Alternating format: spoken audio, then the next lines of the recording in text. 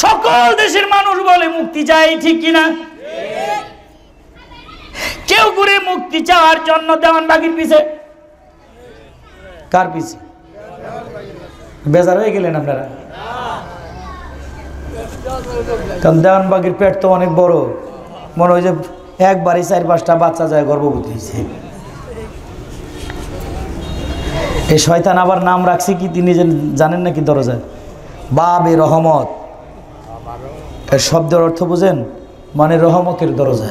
ও বলে রহমতের দরজা। বলেন না উজুবিল্লাহ কোন ব্যক্তি যদি একবার তাকে বাবে রহমত বলে স্বীকার করে নেয়, ওই ব্যক্তি সাথে সাথে কাফের হয়ে যাবে। রহমতের দরজা মালিক কে? বলেন, কে?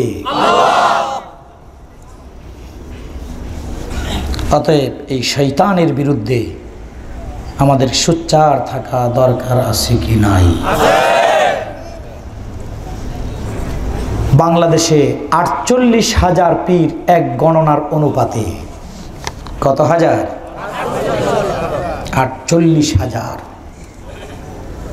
ব্যবসা এক একজন এক একভাবে করছে। আর হিদায়াত নিতে গিয়ে, হিদায়াত খুঁজতে গিয়ে আমরা বড্ড ভুল করে ফেলেছি। হিদায়াত চাইতে হবে কার কাছে? আল্লাহ বলে, হিদায়াত তুমি যদি পেতে চাও, আগে আল্লাহর কাছে চাইতে হবে। ইহদিনাস সিরাতাল মুস্তাকিম।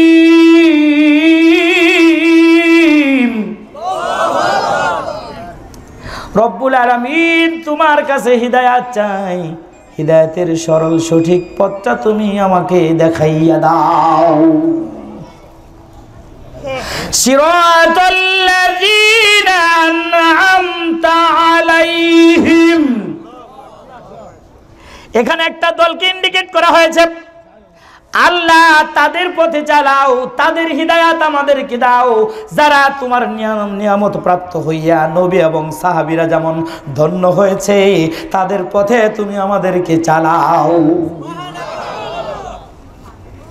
কি সুন্দরভাবে বর্ণনা করছি غير المغضوب عليهم ولا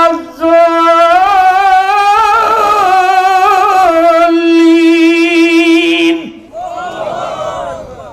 তাদের প্রতি নিও না মাবুদ গপ যারা তোমার গজবে তোমার আগের ভিতরে আছে তোমার গজব কুড়িয়েছে ওই ব্যক্তিদের পথে তুমি নিও না। হেদায়ত খুঁজতে গিয়ে দুই দল হয়, বলেন কয় দল? একদল হলো সাহাবিদের পথে একদল হলো নবীর পথে একদল হলো আবু বকর, উমর, উসমানের পথে, আরেক দল হলো ন্যাংটা পাগলার পথে। একদল হলো ফুল ফুলতলি আরেক দল ফুলপুরীর পথে।